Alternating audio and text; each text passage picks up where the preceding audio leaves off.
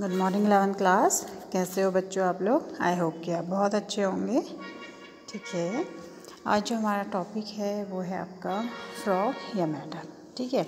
इससे पहले हमने केचुआ और क्या पढ़ लिया है? कॉकेट पढ़ लिया तो आज क्या है? पहले हम इसकी क्या देखेंगे? वाही आकार की और इसके बारे में जानेंगे। ठीक है?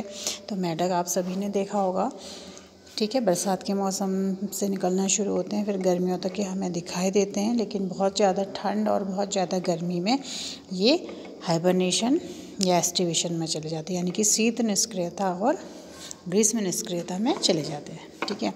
तो मेढक वह प्राणी है जो मीठे जल में और धरती पे दोनों जगह निवास कर सकता है, ठीक है? जैसे आपने पढ़ा था प्लांट किंगडम में जो ब्रायोफाइट्स होते हैं, वो क्या होते हैं? उनको प्राणी, जन प्लांट जगत का एम्फीबिया कहा जाता है। एम्फीबिया मतलब दो जगहों पर निवास करने वाला, जल में भी और थल में भी। ठीक है? तो इसलिए क्या हो गए मेढक क्या है? जल और धरती दोनों पर ही वो क्या कर सकते हैं? निवास कर सकते हैं। ठीक है? तो जो पा, पादप जगत के एम्फीबियन है, वो कौन है? ब्रायोफाइट्स और जंतु जगत में क्या होंगे? आपके एम्फीबिया मेढक हो गए। ठीक है? तथा कशेरुकी संघ के एम्फीबिया वर्ग से संबंधित होते हैं। भारत में पाए जाने वाली मेढक की सामान्य जाति राना टिगरीना है। ठीक है? तो इसका जो जोलॉजिकल नेम है, वो है आपका राना टिगरीना। ठीक है? राना टिगरीना। ठीक है? तो ये नाम भी आपको याद होने चाहिए। और इसका जो इसका शरीर का जो टेम्परेचर है वो स्थिर नहीं रह सकता है, ठीक है? शरीर का ताप वातावरण के अनुसार ही परिवर्तित होता है। इसलिए इस प्रकार के जो प्राणी होते हैं, उनको असमतापी या अनियमित तापी प्राणी कहते हैं, ठीक है? मेढक की जो स्किन होती है, वो रंग परिवर्तन कर सकती है ठीक है, जिससे वो घास में या जहाँ पर भी वो रह रहा है, वो अपने जो वातावरण है उसके अकॉर्डिंग अपने कलर को क्या कर देती है, परिवर्तित कर देती है। किस लिए? शत्रुओं से छिपने के लिए रंग को परिवर्तित कर देती है, जिसे हम क्या कहते हैं? छदमावरण कहते हैं, या इसको बोलते हैं हम मिमिक्री अनुहरण। ठीक है छदमावरण भी यही है और अनुहरण भी यही है। अनुहरण मतलब किसी की मिमिक्री करना ठीक है? तो ये क्या करते हैं, जैसे प्लांट्स के पास हैं तो हरे कलर के हो जाएँगे, पेड़ में है तो ब्राउनिश हो जाएँगे, पानी में है तो उसके कलर मतलब अपने को छिपाने के लिए क्या होते हैं, सक्षम होते हैं तो इसको ही बोलते हैं हम छदमा आवरण ठीक है? छदमा आवरण करते हैं मतलब ठीक है? आपने यह भी देखा होगा कि मेढक शीत और ग्रीष्म ऋतु में नहीं दिखते हैं। बहुत ज़्यादा ठंड होती है तो बहुत ज़्यादा गर्मी होती है तो नहीं दिखते। क्यों? क्योंकि ये क्या है? इनके शरीर का तापनीयत नहीं रहता है। ये क्या है? असमतापी प्राणी है। अभी देखा था ना हमने। तो इसलिए क्या करते हैं? बहुत ज़्यादा ठंड को सहन नहीं कर पाते हैं। बहुत ज़्यादा गर्मी भी सहन नहीं कर पाते हैं। इसलिए ये क्या करते हैं? गड्ढे बनाकर अगर सर्दी का मौसम है तो शीत निष्क्रियता और गर्मी का मौसम है तो ग्रीष्म निष्क्रियता में ज़मीन के अंदर गड्ढे बनाकर चले जाते हैं, ठीक है? तो बाह्य करेगी में क्या देखिए, इस तरीके का मेढक है, इसके ये सिर है और ये धड़ है, ठीक है? ये आँखें हो गई, उभरी हुई और ये सिर वाला हिस्सा, ये अग्रपाद है, इसमें चार उंगलियाँ होती हैं और पीछे की जो अंगुली हैं, उसमें पाँच हिस्से होते हैं और इस तरीके से उसमें क्या बने रहते हैं? जाल बने रहते हैं। जाल क्यों? ताकि वो जब पानी में जाए तो उसके तैरने में वो क्या कर सके? हेल्प कर सके। ठीक है तो वाह्य की में क्या हो गया कि मेढक की जो त्वचा होती है, वो कैसी होती है? श्लेष्मा युक्त तो होती है, जिसके कारण वो चिकनी और फिसलन वाली होती है और सदैव आर्द्र रहती है। ठीक है, आर्द्र रहती है और त्वचा द्वारा ये श्वसन भी कर सकता है।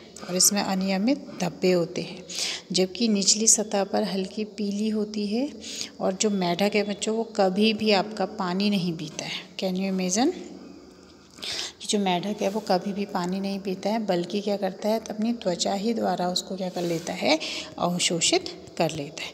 तो मुँह से नहीं पीता है, लेकिन त्वचा द्वारा वो क्या करता है, उसको अवशोषित कर लेता है। ठीक है। मेढक का शरीर सिर और धड़ में विभाजित होता है। पूंछ व गर्दन का इसमें क्या होता है? अभाव होता है। मुख के ऊपर एक जोड़ी नासिका द्वार होते हैं और आँखें बाहर की ओर निकली। निमेशक पटल से ढकी हुई होती हैं ताकि, क्योंकि ये पानी में भी रहता है, ताकि उसका जल आँखों में नहीं जा सके। आँखों के दोनों ओर कान, ठीक है टिम्पैनम या कर्ण पटल पर उपस्थित होते हैं, जो ध्वनि तरंगों को क्या करेंगे? ग्रहण करने का कार्य करते हैं और अग्रपात चलने, फिरने, टहलने, गड्ढा बनाने के काम आते हैं और इनमें कितनी उंगलियाँ होती हैं? अग्रपाद में चार उंगलियाँ होती हैं, ठीक है? जबकि पश्चपाद में पाँच उंगलियाँ होती हैं तथा पश्चपात लंबे मांसल होते हैं और ये झिल्ली युक्त तो होते हैं। बताया ना, झिल्ली युक्त तो क्यों होंगे? क्योंकि ये जल में तैरने में इसको क्या करते हैं? सहायता प्रदान करते हैं। मैठक में द्विरू लैंगिक द्विरूपता देखने को मिलती है, ठीक है? और नर मेढक में आवाज़ उत्पन्न करने के लिए वोकल सैक होते हैं मतलब कि ये अपने जो इसका रिप्रोडक्टिव फ़ेज़ होता है, जनन की क्रिया का जब समय होता है तो ये क्या करता है? वाकोस उससे क्या करता है? आवाज़ निकालता है और फीमेल मेढक को अट्रैक्ट करता है, ठीक है? और इसकी अगली जो पहली अग्र, साथ साथ अग्रपात की पहली अंगुली पर इसके जनन अंग भी पाए जाते हैं, जो कि मादा मेढक में नहीं दिखाई देते हैं। ठीक है बच्चों? तो जो मेढक है, उसका शरीर कैसा है? सिर और धड़ में विभाजित है, पूँछ और गर्दन उसमें नहीं होती हैं। ठीक है? आगे के जो पैर होते हैं, उसमें चार उंगलियाँ पैर पीछे के पैर में क्या होंगी? पाँच उंगलियाँ होंगी और झिल्ली नुमा होंगी ताकि वो तैरने में क्या हो, उसको हेल्प करे। ठीक है मेल और फीमेल मेढक अलग अलग होते हैं और जो मेल मेढक होता है, उसमें वोकल सक पाया जाता है, वाक कोश पाया जाता है, जिससे वो ध्वनि उत्पन्न करके मादा को अट्रैक्ट करता है और पहली अंगुली पर जनन अंग पाया जाता है। ठीक है? अब है इसकी आंतरिक आकार की। ठीक है एनाटोमी यानी कि इसके अंदर के शरीर की बॉडी तो मेढक की देहगुआ में पाचन तंत्र, श्वसन तंत्र, तंत्रिका तंत्र, ठीक है? परिसंचरण तंत्र, जनन तंत्र, पूर्ण तरह क्या होंगे, अच्छी तरह से परिवर्धित संरचनाओं और कार्ययुक्त तो होते हैं. मेढक का पाचन तंत्र आहार नाल और आहार ग्रंथि का बना होता है. चूँकि मेढक में, क्या है आपका? मांसाहारी है तो इसलिए इसकी जो आहार नाल होगी, वो क्या होगी? छोटी होगी। तो चित्र में देख रहे हैं आप कि यहाँ पर को क्या होगा? इसका मुख होगा, फिर ग्रस, ग्रास नाल होगी, फिर ग्रसिका से शुरू किया है यहाँ पे चित्र में।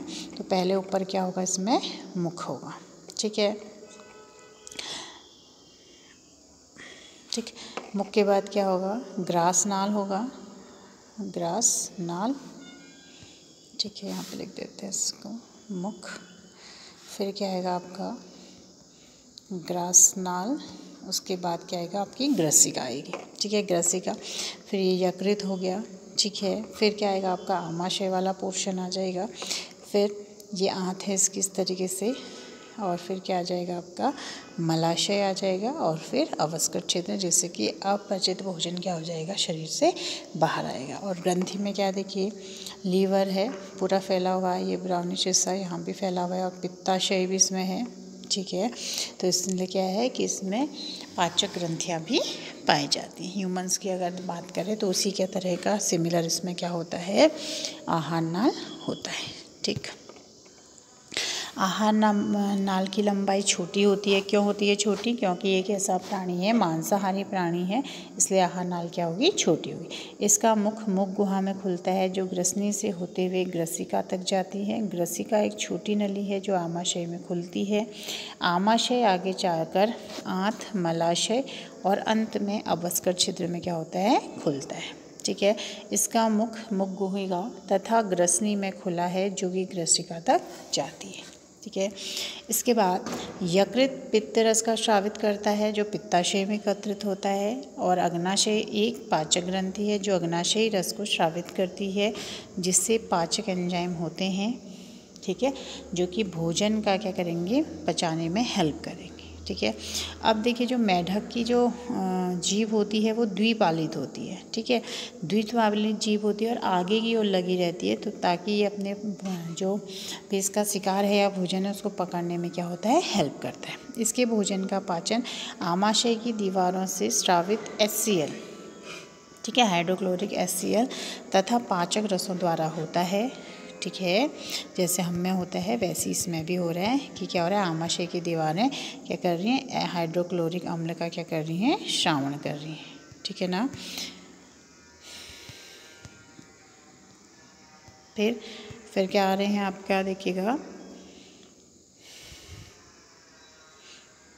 ये हो गया ठीक, फिर अर्धपचित जो कायम होता है, वो आमाशय से गृहिणी में जाता है और गृहिणी से पित्ताशय से पित्त और अग्नाशय से अग्नाशय रस आता है, जो कि वसा तथा अग्नाशयी रस कार्बोहाइड्रेट और प्रोटीन का क्या करते हैं? पाचन करते हैं।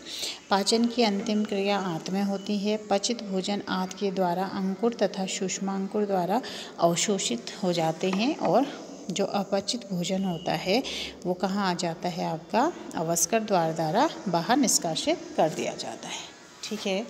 समझ गए इतना। चूँकि क्या है, जो मेढक है, वो जल और थल दोनों में क्या रहता है? रहता है। इसलिए उसमें क्या होते हैं? क्या होंगे? दो तरीके से वो क्या कर सकता है? श्वसन कर सकता है। एक तो किसके द्वारा कर सकता है? त्वचा के द्वारा कर सकता है। क्यों? त्वचा क्या है इसकी? श्लेष्मी होती है, नम होती है इसलिए त्वचा द्वारा भी क्या कर सकता है आपका? श्वसन कर सकता है और विसरण द्वारा पानी में घुली हुई जो ऑक्सीजन है, उसको क्या कर लेगा? ले लेगा। ठीक है? और जब ये क्या होगा? पानी से बाहर होगा, तब ये क्या करता है? फेफड़ों के द्वारा क्या करता है? श्वसन करता है। ठीक है? तो दो तरीके से श्वसन करता है। पहला तो क्या है? ये त्वचा द्वारा श्वसन करता है। ठीक है? दूसरा क्या होगा? ये फेफड़ों के द्वारा क्या करता है? के द्वारा भी क्या करता है? श्वसन करता है। ठीक है बच्चों? जब पानी में होगा तब कैसे करेगा? त्वचा के द्वारा करेगा और जब ज़मीन में होगा तब किसके द्वारा करेगा? फेफड़ों के द्वारा करेगा। फेफड़े एक लंबे, अंडाकार, गुलाबी रंग के थैलीनुमा संरचनाएँ होती हैं, जो देह गुहा के वक्षीय भाग में क्या होती है? पाई जाती है। ठीक है? वायु नासा छिद्रों से होकर मुख और फेफड़ों तक पहुँचती है।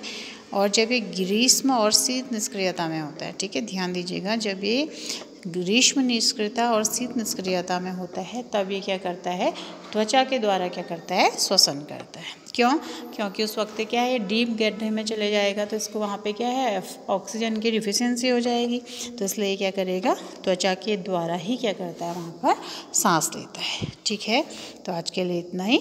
आप इसको अपनी कॉपी में इसका चित्र बना के इसके बारे में आहार नाल और जो उसके श्वसन वाला हिस्सा है, उसको आप कर लेंगे। ठीक है?